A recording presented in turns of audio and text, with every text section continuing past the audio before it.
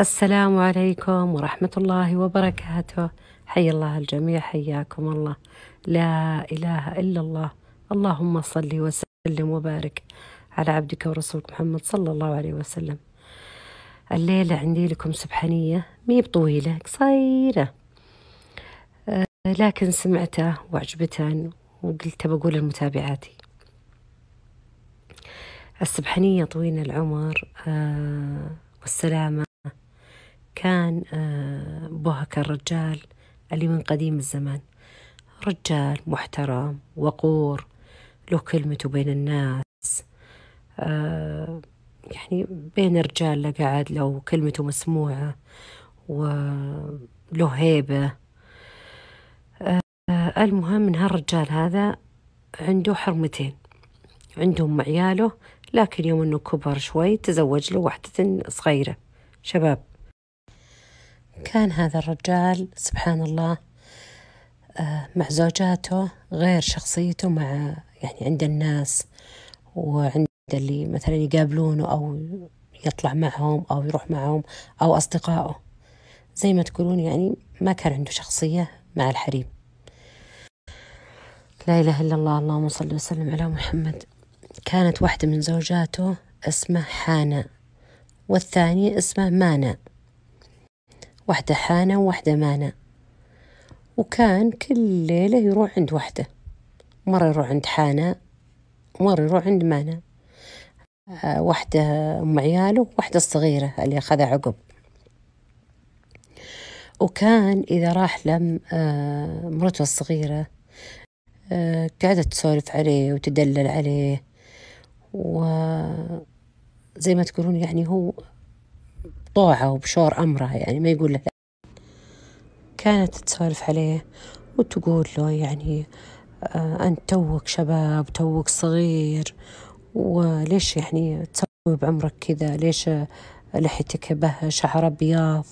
خلنا ننتف لك أبى أنتف لك الشعرات البيض يقول له كيف؟ خلاص يعني أهم شيء إنه بس ترضى عنه.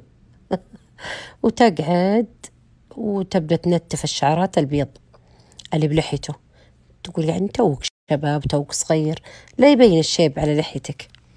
وتقعد وتنتف الشعرات البيض. هم اللي جنب باسر راح عند أم عياله اللي هي مانا. آه ويوم لا راح آه بدأت تناظر أم عياله. وقالت وراك كذا الشيب وقار أحلى شعرك يوم صار أبيض لحيتك صارت بيضة تهبل وشكلك وقار وشكلك فخر. وتبدأ تبدأ أم عياله تمكع الشعرات السود. تقول الشيب زين والشيب وقار ويعطيك هيبة عند الناس. المهم ما يقول له شيء يطيعها يقول يلا. وصار على هالحالة. كل فترة هذه تقول له إن الشيب مكبرك ولا هو بزين وتمكعه. وذي تقول إن السواد مو بزين وإنه يخليك يعني منت بوقار وتمكعه.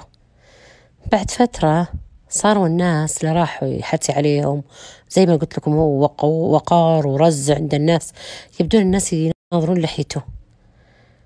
يعني وهو يحتي أو مثلا قاعد المجلس يبدون الناس يركزون على لحيته. هو طبعا ما لاحظ يعني على طول آه إن لحيته صار به فراغات. يعني صارت زي البقع مبقعة. استغفر الله العلي العظيم.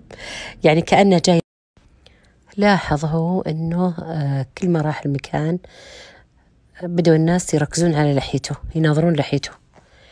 بدأ يلاحظ. لكن وش عقبه يوم بدأ يلاحظ؟ يوم جاء يوم من الأيام قاعد يناظر. جاب مراية وقعد يناظر ولا وش يشوف؟ كل لحيته الحمد لله والشكر كله فراغات مبقعة.